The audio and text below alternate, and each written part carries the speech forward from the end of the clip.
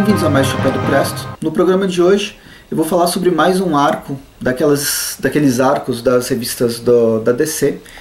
Só que vou pegar Superman Action Comics. Uh, de Superman, eu vou pegar só a edição número 7, eu já falei até a 6, e a partir da edição número 8 vai começar um arco grande que vai até vai terminar só no que vem. Então dessa vez vamos com Superman com os Super Monstros que é um arquinho pequeno de duas edições, com as edições Superman 12 e 13 uh, ah, americanas. Aqui a gente começa com a Lois é, indo na redação do, do jornal de Hamilton, um, um jornal de uma cidade pequenininha, conversar com a editora de lá. De repente chega o Frankenstein para prender a editora. A Lois fica um tanto puta, ajuda o, a amiga dela a fugir. E aí a gente tem, pelo menos nesse primeira metade da, da história, a, a Lois ajudando a editora e o Superman que surge para ajudar a Lois a fugir desse meio zumbi ensandecido. A gente sabe que Frankenstein ele não é um vilão, mas ele é um personagem de, um, de poucas palavras. Para o final da edição que a gente descobre que a editora tinha sido sequestrada e no lugar dela tinha uma alienígena é, considerada assassina de diversos em diversos mundos e o Frankenstein estava vindo mesmo fazer a prisão dela. E a história é isso aí, vai ficar girando em torno dessa assassina e dos dois casais, o Superman e a Lois, e a, a noiva do Frankenstein e o Frankenstein. A noiva do Frankenstein, no caso, ela tinha se separado do monstro de Frankenstein por causa do. A, a noiva acabou assassinando o próprio filho depois que o filho é, ele deu uma pirada e começou a matar geral. Isso aconteceu em edições antes do Renascimento. E isso fez também, provocou a separação dos dois monstros. Eu acho que o, o, o roteirista o Peter Tomasi, Patrick Gleason e a dupla queria mostrar essa interação do casal Frankenstein e noiva do Frankenstein num ponto diferente da vida do, do casal Clark e Lois. E ainda soltar essa possibilidade de que, por mais que o casal é, esteja junto há muito tempo, algumas coisas imprevistas podem acontecer, alguns, algumas decisões muito fortes de uma parte que a outra parte não concorda é, pode provocar a ruptura do casal. Sugerindo até que o John, o filho dos, do, dos dois, no futuro possa se transformar num vilão, talvez. Mas essa é uma sugestão um tanto quanto aberta. É, os desenhos eles são são várias pessoas que desenham essas duas edições, né? O Doug Monkey, mas tem a, a finalização do Jaime Mendonça, o Keith, Keith Champagne, Champagne, olha esse nome, a, a Norm Hepburn e o Will Quintana nas cores, tem um monte de arte finalista, não deixa a, a revista tão irregular a, em questão da arte, mas não tem nada muito muito interessante além desses enquadramentos é, justamente do, do momento da fuga é, da Lois Lane e da e do aparecimento do Superman que são ele tenta simular uma certa velocidade pegando essa essa cena muito maior do desse veículo correndo e esses esses quadros caídos como se ele o, o veículo passou e os quadros estão estão sendo levados. Até que Superman chega dando porrada. Mas o mais legal é a caracterização do Frankenstein, que parece mesmo aquele zumbi é, todo deformado, que normalmente não é tão. não é caracterizado tão com esses olhos caídos e tal nas outras histórias. Ele é um tanto mais limpo. É, é divertido. Eu acho que Superman é, são umas leituras mais, mais leves, mas são umas mas apresentam uma leitura bem, bem divertida. Em Action Comics, por sua vez, que eu também gostei da história, as edições 6, 7 e 8, é, vai apresentar um arco em seis partes, que é esse Homens de Aço. É, a história é simples também, que na verdade é uma história simples que coloca elementos que vão ser trabalhados mais para frente, mais para o futuro, mas basicamente surgem alienígenas é, no planeta Terra para capturar o Lex Luthor, que segundo um desses alienígenas, considerado matador de deuses, nomeado matador de deuses, ele teve uma visão de que o Lex Luthor vai se transformar no novo Darkseid e trazer morte e destruição para diversos planetas.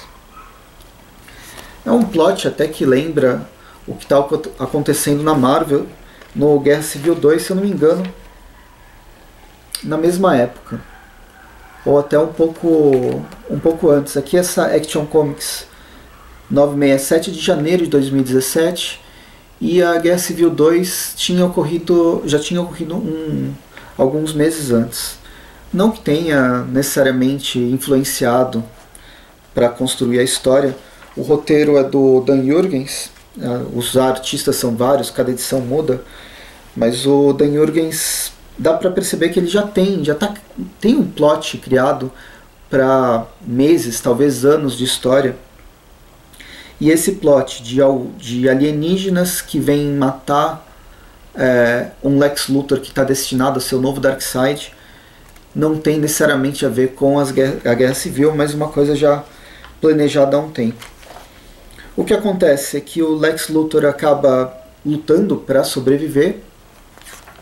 O Clark ele aparece para salvar o, o, Lex. E no meio dessas batalhas, vai e vem, vai e vem, o, o, o Lex Luthor acaba sendo sequestrado pelos alienígenas. E acho que o mais impactante é você ter esse Clark Kent que é, é um Clark Kent que ninguém sabe direito quem que ele é, vai ser resolvido num, num, num, em arcos futuros. Uh, esse Clark Kent sugere que, poxa, se o, se o Lex Luthor está destinado a ser o novo Darkseid, então é uma coisa bem antiética mas é uma discussão antiética de viagem no tempo. Por que, que a gente não volta para matar o bebê Hitler antes que aconteça a Segunda Guerra Mundial? E ele sugere justamente isso. Por que, que a gente não deixa que o Lex Luthor morra antes que ele se transforme nesse déspota que vai destruir é, galáxias e mais galáxias? E o lance do, do Superman é justamente isso, a esperança que, por mais que pessoas que veem um futuro possam é, jurar de pé junto e bater o pé que vai ter um déspota e esse déspota precisa ser assassinado, o Superman ele é a personificação da esperança mesmo, por mais piegas que isso seja, e ele vai lutar para que uma pessoa que não cometeu um crime não seja julgada pelos crimes que não cometeu. É, aí com isso essa foi só uma sugestão do Clark Kent, isso aí vai ficar para segundo plano. O Clark Kent vai ficar, na verdade, enchendo o saco da Lois Lane, que vai ficar na Terra, enquanto o Super vai para esse outro planeta a tentar salvar o, o, o Lex Luthor. O grande lance da história, eu acho que é justamente você ter o julgamento do Lex Luthor, não só por esses alienígenas que são acabaram de ser criados, nunca tinham aparecido, mas é o julgamento dos alienígenas pelo Superman. Aqui tem uma visão do Lex Luthor Darkseid. Mas é uma. O, o lance da história é você aproximar os dois personagens, tanto o Lex quanto o Superman, que são inimigos jurados, o Clark Kent, que vem do pré-Flashpoint, é, desde o início ele tá super é, com o pé atrás com esse Lex Luthor, mesmo antes da morte do, do Superman da Terra dos 952 e principalmente depois, quando o Lex Luthor, além de entrar para a Liga da Justiça, ele resolve vestir o manto, vestir o símbolo do, do Superman, vestir a capa do Superman e se auto-intitular o novo Superman de Metrópolis, e ele nunca deixou de ser arrogante, ele pode não ser aquele gênio maléfico que a gente conhecia, mas ele nunca deixou de ser arrogante. E o Superman, esse Clark Kent que pré-Flashpoint, tem isso em mente. O Lex Luthor sempre foi um vilão. Para ele, é, é, foi um dos maiores arquinimigos. E esse arco, eu acho que ele vai finalizar essa essa aliança entre o Superman pré-Flashpoint e o Lex Luthor dos Novos 52. É uma história legal, eu, eu gostei. Eu acho que o Dan Jurgens é um dos que mais sabe trabalhar o, o, esse personagem. Os, todo o Superman, todo, todos os personagens coadjuvantes. E uma das coisas legais, que eu acho que eu já falei nos outros vídeos, mas vale ressaltar, é que os personagens coadjuvantes do universo do Superman, eles con continuam sendo importantes. Uma das melhores fases do, desse, do, do Superman, do Super-Homem, é, eu acho que foi que eu comecei a ler foi pós uh, o, o pós-renascimento dele, né? Depois da morte ele ressurgiu e aí teve toda uma fase onde ele, ele se envolvia com alienígenas, ficou, virou uma bateria solar sobrecarregada, teve vários problemas é, ligados a essa super força, mas os problemas pessoais, os, os personagens coadjuvantes, a Lois, o Planeta Diário, ou mesmo outros personagens é, fora do Planeta Diário, eles eram muito importantes para a constituição do Superman, do desse kryptoniano alienígena que ele é muito mais terrestre que muitos outros personagens uh, que nasceram na Terra. E aqui a gente vai ter uh, justamente esse esse jogo do personagem. Um, o próximo arco já está indicando aqui que vai ser os últimos dias de Clark Kent, provavelmente investigando esse outro Clark Kent, mas até fazendo referência a essa saga, a essa fase do Dan Jurgens, que teve um. A Abril chegou a publicar, foi encadernado grosso, em formatinho, que foi a morte do Clark Kent quando o, o Clark. O Superman desiste de ser Clark Kent, porque isso atrapalhava ele como Superman.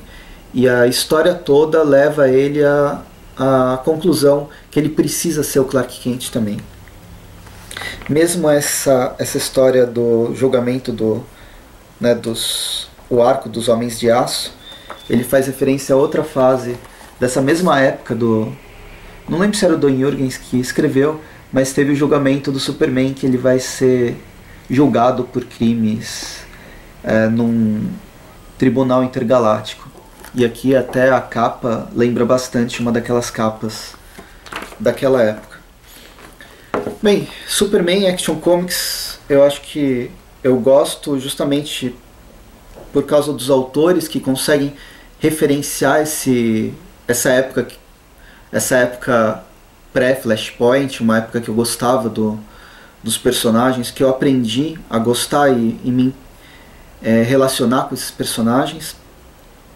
E ainda assim ele conta histórias novas, fazendo releituras e fazendo tornando aquelas histórias pertinentes para essa nova época. Bem, acho que eu já falei demais. Superman Action Comics. Devo voltar a falar sobre essas revistas lá para 2018, mais para frente, quando fechar os próximos arcos. Mas por enquanto são essas edições. Espero que vocês tenham gostado. Curtam o vídeo, assinem o canal, comentem aqui o que vocês acham dessa, dessa fase do Renascimento.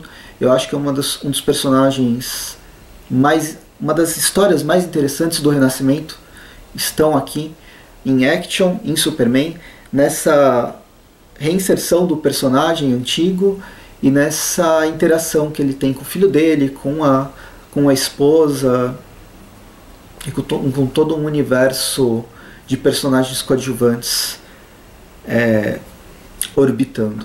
Então a gente se vê no próximo vídeo. Curtam, assinem, comentem, a gente conversa aqui embaixo e bons quadrinhos.